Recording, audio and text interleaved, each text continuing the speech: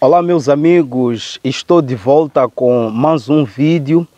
Hoje iremos falar com o ex-pastor da IURD, o Giminácio, mais conhecido entre os fiéis como o Mentiroso. Uh, eu tive acesso a um vídeo que este indivíduo gravou nas redes sociais que é de embrulhar o estômago. O Geminácio fala como se fosse o dono da igreja, parecendo o galo de crista alta. Primeiro, vamos mostrar o momento em que o rebelde Jimmy é desmascarado ao vivo numa rádio de Angola.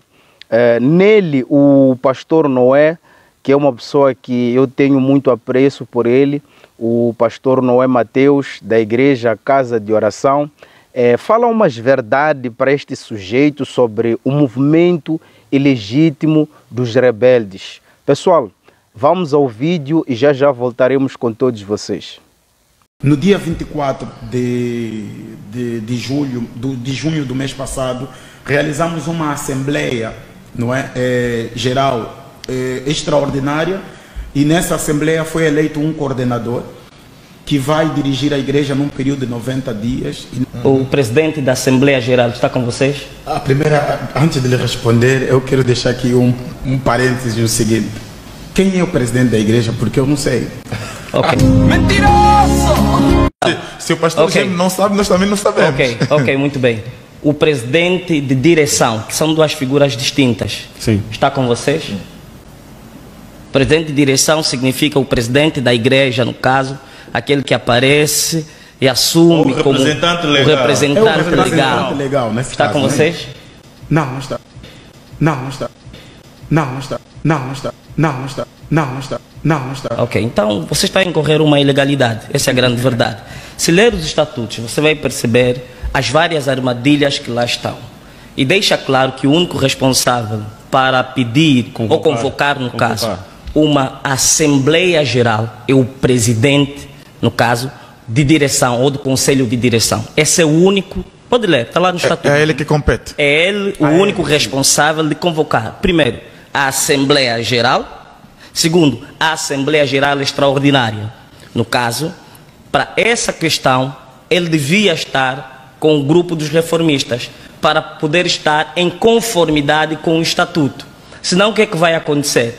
É ilegítimo essa, essa assembleia que foi realizada é legítimo todos os passos que foram dados, essas convocações, porque a, a igreja e as organizações, eh, as ONGs, elas são guiadas pelo estatuto. E só o estatuto é o único documento legal que, portanto, a instituição deve usar para poder é, dirigir-se, ok? Com a ajuda, obviamente, dos, é, do regulamento interno. E o que nós vamos ver aqui é que é, nem o presidente da Assembleia Geral está, porque ele é que conduz a reunião da Assembleia Geral, nem o, o, o presidente eleito pela Assembleia Geral para dirigir a igreja está com eles. Então, na verdade, é, é, é uma luta. De, é, acho que tem vários, vários interesses da parte dos, dos reformistas que, devem, que deve ser feita.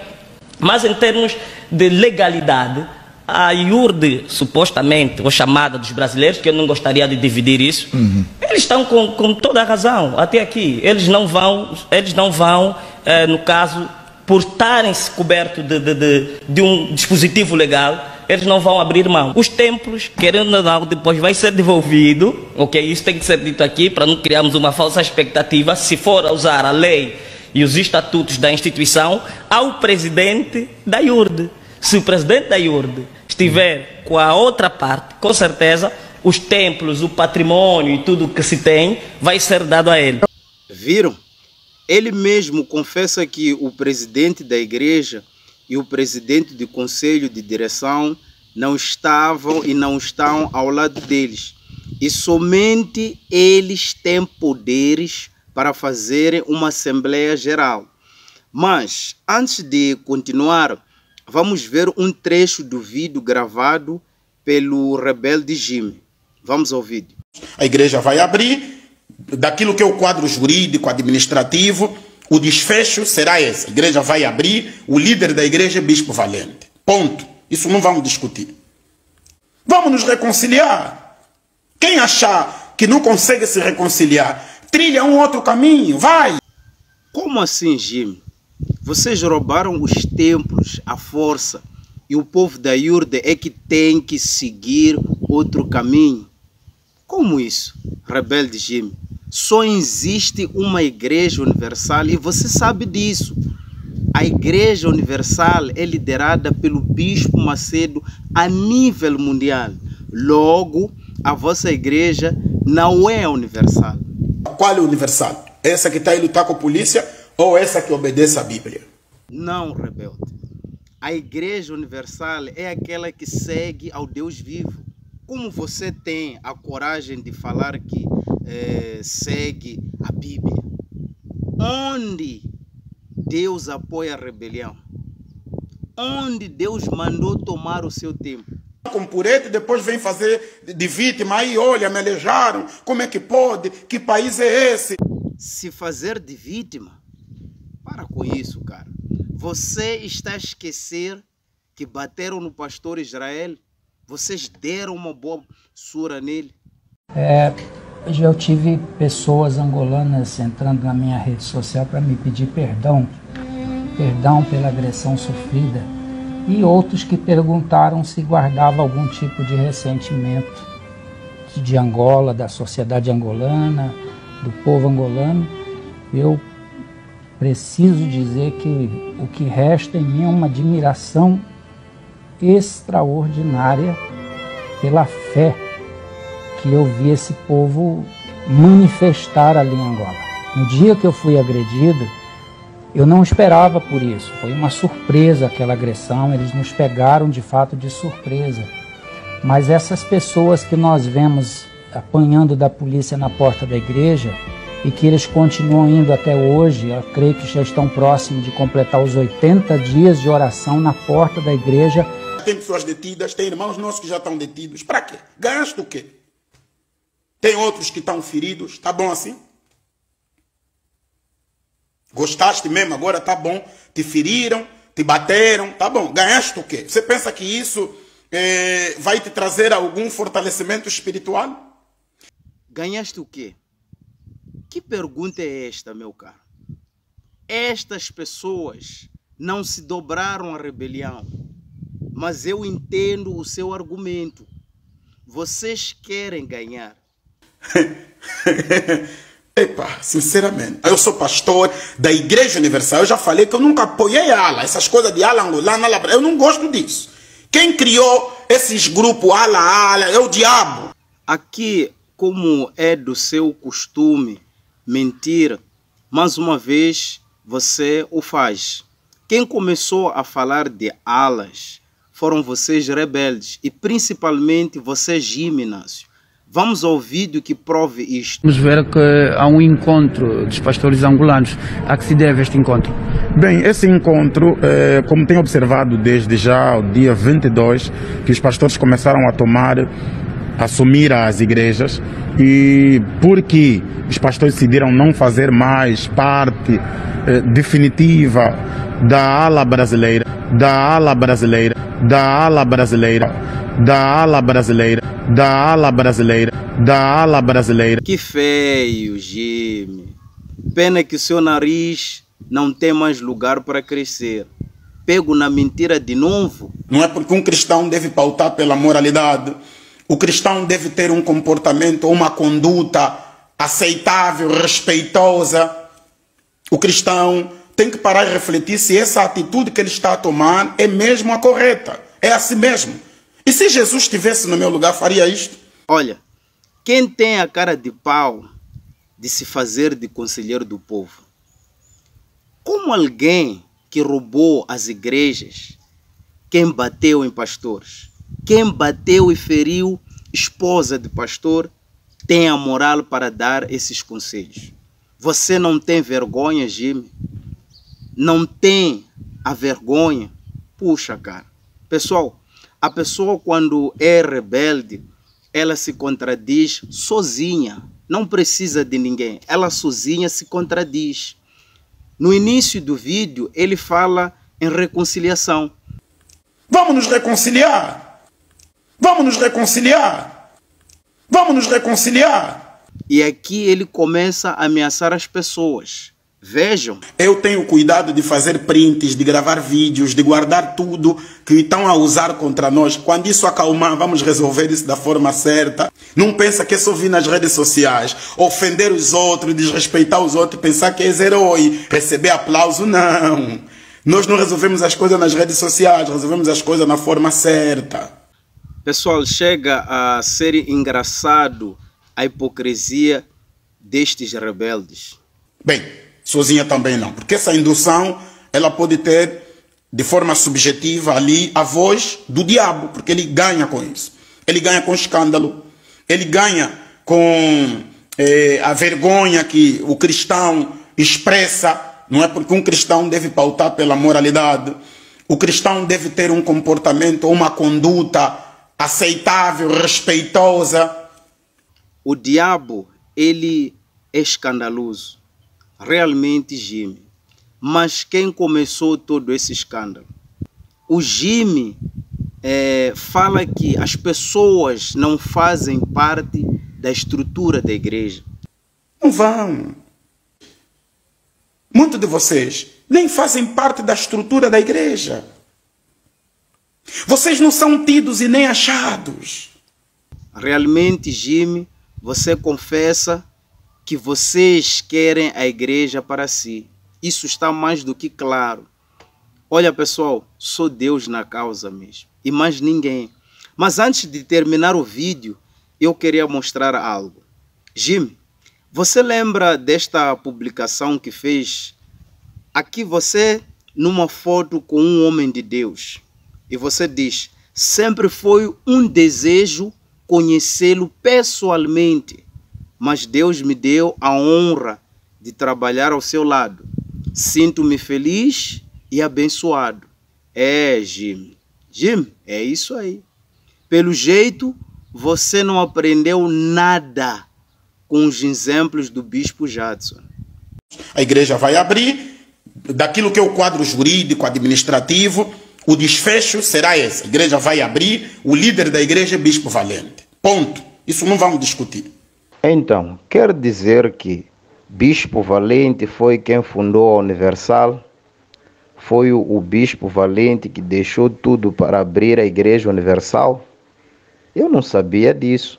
Para mim foi o Bispo Macedo. Será que estou enganado?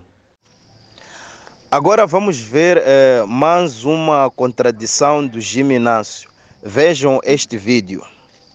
Livro de Romanos capítulo 13. Romanos capítulo 13. O, o, o tema deste capítulo diz assim: eh, obediência às autoridades. E o texto continua, diz o seguinte: todo homem, todo homem, esteja sujeito às autoridades superiores. Porque não há autoridade que não procede de Deus. E as autoridades que existem foram por ele instituídas. É o que a Bíblia está a dizer. Continua a dizer o seguinte: de modo que aquele que se opõe à autoridade resiste à ordenação de Deus. E os que resistem trarão para si mesmo condenação. Atenção a esse detalhe. O versículo 2 do capítulo 13 diz que as, aqueles que resistem à autoridade trazem para si condenação, porque estão a se opor ao próprio Deus. Ou seja, as pessoas que se opõem às autoridades, elas estão a lutar sozinhas, mesmo que elas estejam a invocar Deus nessa luta contra as autoridades. Em nome de Deus, em nome da fé, em nome disso. Mas só o fato dela estar a lutar contra a autoridade, Deus já não está com ela. Meu caro, você confessa e diz que devemos nos submeter às autoridades, mas você mesmo não se submeteu à autoridade do Bispo Macedo e nem a do Gonçalves. Como você disse bem, está na Bíblia, aquele que se impõe à autoridade resiste à ordenação de Deus. E os resiste trarão para si mesmo condenação. Pois é, Jim, você disse bem. Você resistiu a autoridade espiritual do Bispo Macedo, que é importante frisar que a autoridade espiritual é maior que a autoridade terrena para qualquer cristão. Mas uma coisa, Jimmy, você lembra quando seus pastores foram ao aeroporto cometer violência psicológica contra a esposa do Bispo Gonçalves? Isso é papel de homem de Deus, meu caro. Não. Eles querem fugir, né? Não é o que a senhora faz? Está aqui a mulher dele, está a fugir. Não é que você fazia? Não é que você fazia com as angolanas? Está aí a mulher do cara, do bandido. Não está a fugir, não. Estás a fugir? Aí a mulher dele. Eu quero deixar um recado ao nosso amigo Jimmy. Meu caro, você não é mais pastor da Iurda. Você pode ser pastor da Iurda. Mas a Iurde, aquela fundada no Rio de Janeiro, você não é mais. Não como pastor, porque membro e frequentador qualquer um pode ser.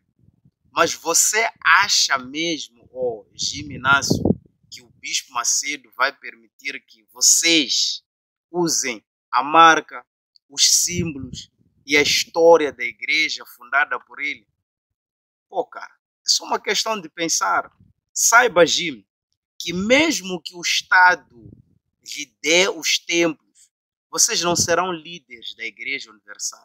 Em Angola, e nem na China, e em nenhum lugar do mundo, meu caro. Escreve isso aí.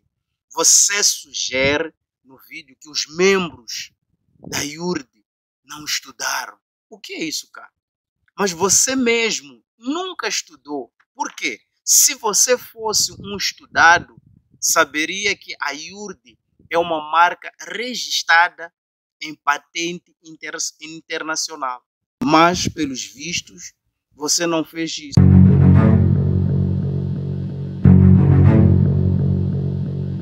estamos, uh, tomamos uh, Banguela, uh, neste caso o Ambo, também Malange, não é? O Ambo, Malange, Benguela e outras províncias que não farei menção, como Namibe e outras que também tomamos, como Sumbe e para ali vai. Em Luanda? Em Luanda nós tomamos uh, cerca de 30. Quando falamos venda de patrimônio, não era um ou dois terrenos ou dois, do, dos apartamentos que estavam a ser vendidos. Era mais de 90% do patrimônio da igreja. Era mais de 90% do patrimônio da igreja. Era mais de 90% No que diz respeito ao patrimônio, nós estamos aqui no Talatona, vocês podem ver a nossa catedral, nós estamos a construir uma nova catedral. Se os pastores brasileiros eles quisessem desviar fundos, não construiríamos os templos que nós temos. E vocês não verem a obra que nós fizemos de construção de templos. Nós temos já um projeto em curso da construção do nosso maior templo, que será no nosso, nosso terreno do FTU, mais de é, 5 mil membros. Como se, nós, se os pastores tivessem a intenção de fazer de capital, não estaríamos a construir esses templos. Quem era o bispo Felder? O bispo Felder era daqueles bispos arrogantes que pensava que a igreja universal é da mãe dele ou do pai dele. O bispo Felder que pensava que a igreja universal era da mãe dele e do pai dele. Onde é que anda o bispo Felder agora? Ontem acabou de se desligar da igreja universal. Quais são os argumentos que levaram ele a desligar-se da igreja universal? O bispo Felder foi enviando e-mails a denunciar as riquezas de João Leite ao bispo Macedo. Mas mesmo assim, esse tal indivíduo também, o Felder, ele tem bens mal adquiridos. Adquiridos com venda de terrenos. Me mandam comprar terreno, ele aumenta um preço. Um preço duas vezes mais do preço oficial. E é assim que eles conseguem faturar dinheiro. Ele mesmo, próprio Felner, tem bens adquiridos com venda de terrenos e casas sacrificadas por membros na fogueira santa. Criaram uma facção criminosa. Essa facção criminosa chama-se 7 mil.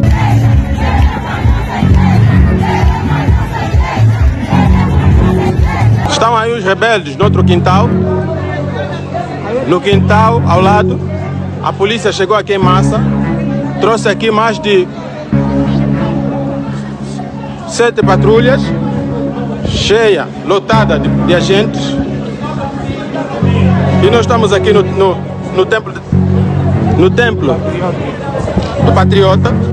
Essa facção usa armas de fogo. Aleluia, vai no final a gente vence. Aleluia, luta, luta, continua. Entrou no Patriota a fazer tiros a busca do bispo valente para matá-lo, porque eles diziam: queremos o valente para matar. Aqui está o povo levantando a fotografia do, do líder oficial da Igreja Universal do Reino de Deus. Esses indivíduos são terroristas gospel. Esses indivíduos são extremistas, são capazes de tudo. É a razão por, pelo qual eles criaram a facção 7 mil. O que é que nós estamos assistindo? Arruaças.